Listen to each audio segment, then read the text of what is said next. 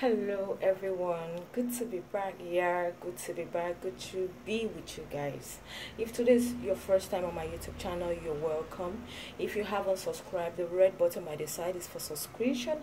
And once you subscribe there is a bell beside. That's a notification button. You click it so each time i drop a new video you can get notified happy tabaski. Bon fede tabaski to all my muslim brothers and sisters. But it's quite a pity because today i'm not going to be talking about relationship but announcing the death of a popular renowned artist in africa.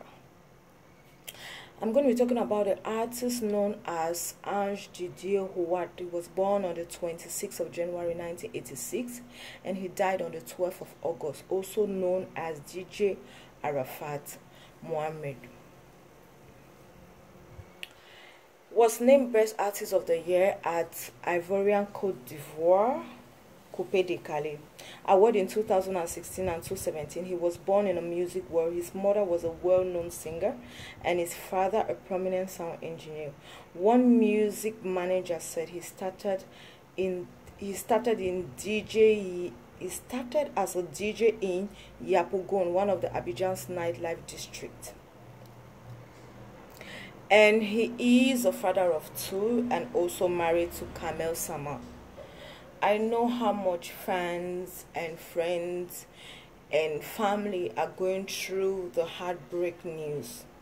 It's just so unbelievable how it's so unbelievable. I know what it is like to lose someone you love so much. So I just want to use this medium to sympathize with the family of DJ Arafat and to also sympathize with his hard die fans.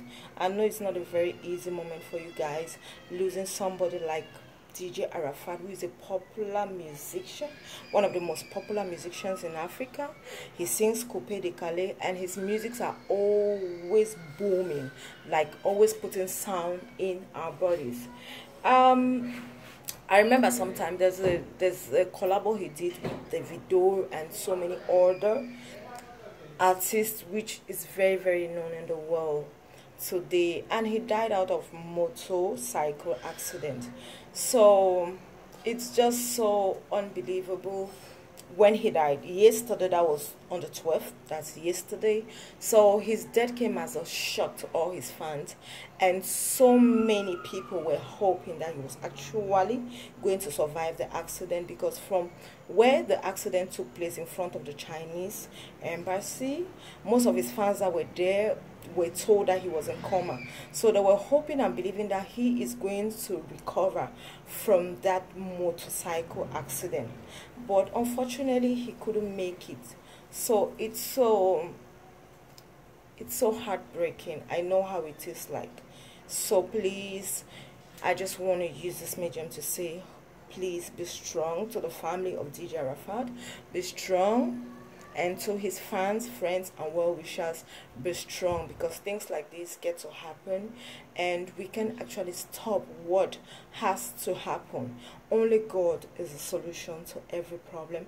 I pray god gives his family strength wisdom and understanding to be able to bear this great loss and to stand through this moment of difficulties. And while we hope to see more of the smiles on the faces of the fans again. For now i know everybody is going through a lot of stress and difficulties due to the loss of their great artists especially the francophone the francophone part in africa.